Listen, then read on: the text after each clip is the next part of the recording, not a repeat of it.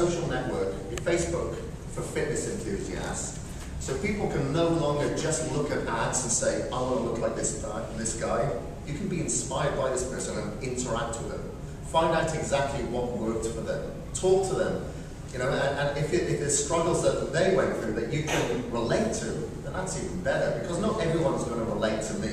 You know, people say, "Oh, it's okay." You know, it, he can get supplements whenever he wants. He's at bodybuilding.com or something like that. But within this book and within BodySpace, there's people from all walks of life.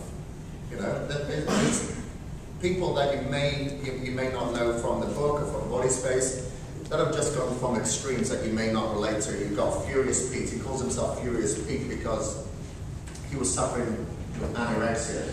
He went to hospital. He almost died because of this condition. But then, when he left the hospital, he decided he was going to go online and see if he could find anything for his condition that could help him rehab himself. He didn't want to admit so much to his friend or, or talk to people about it because he was embarrassed with this condition.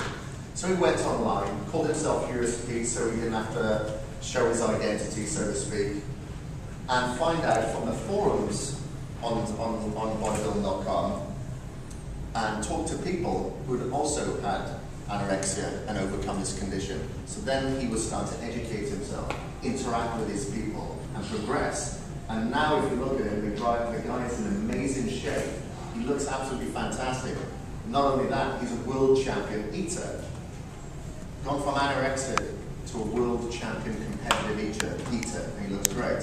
Again, another extreme uh, condition, you know, not everyone can relate to, but there's profiles out there for everybody to look and feel who crave the way they want to have. What's your goal? Do you have a goal, or what was your goal five years ago? Five years, goal five, well, ten years ago was to win the Australian title. It Took me 12 years to win it, but I won it. Yeah. And then uh, from that, it was to become a world champion. That then I gave myself a 10 year goal for that. That took five years. Okay. Not everyone can focus like Murray's a bit of a freak, you know. So Scott, what, what's your goal? Has been your goal? Um, same as Murray, I haven't quite done that one. Uh, to win the Aussie title, I'm close, once or twice. Um, but to uh, get the medal at the 2012 World Powerlifting Championship. Great. So that's like a long-term goal. What about a short-term goal? Short-term goal is uh, next weekend to break all the Australian Raw powerlifting records at the comp, the first comp of the year. So that's been because I've just brought Raw in this year, so that focused on that one since the comp last year, so for the last four months. That was Okay. short-term goal. Yeah. Max, what about you? Physical goal. Physical goal. Physical goal. I'm pretty happy with myself, but it's the best gym in the world. What about a physical goal for yourself? Well, You- said, You've already got the best gym in the world. What's that? said, I'm happy with myself. How much I'm not going Right. Anyway, so You're going to say, you're going to say good, be a good husband. that's spot on. Spot on. We all know that one. So, not everybody can think long term, but a lot of them are short term. But what they just mentioned here are fixed goals. Everybody comes up with a fixed goal.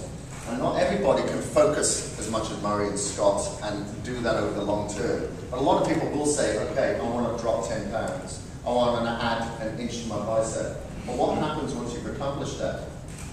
Do you go back to the way you were eating, the way you were training previously, or not training at all? A lot of people do that, hence the yo-yo dieting, hence the 12-week program, but stops at 12 weeks. So this is where you want to focus on limitless goals. That's like, that can be short and long term, but limitless, that's forever. So this could be a 12-week program, but forever. That's exactly how you're supposed to accomplish these goals forever, consistently. So a limitless goal, that can be, like Murray mentioned, you know, Mets could be training to be a better husband, to have more energy to play with his kids. That's not that. So, if you, if you, for instance, I'm, I'm going to be training, I want to look after myself, to be a better husband, to be more attractive to my spouse, or have more energy to play with my kids, or you know, to increase the blood flow to my brain so I can work actively with my co-workers better. Those are all limitless goals. Now you focus on training yourself physically for the bigger picture, because there's so many other things that you can accomplish from that. Not just things like that mentally, but obviously, you know, there are physical conditions as well. Maybe you want to control your diabetes. Maybe it's your osteoarthritis, you want to prevent osteoarthritis. So these are other goals that you should be focusing on. Those are your limitless goals. And as I mentioned, that flows into your opportunities. Your opportunities are to be a better husband, to have more energy, to feel more confident, to look better, to feel better. So you need to combine those both. And those weaknesses, whatever your weaknesses are, that's what you need to put down.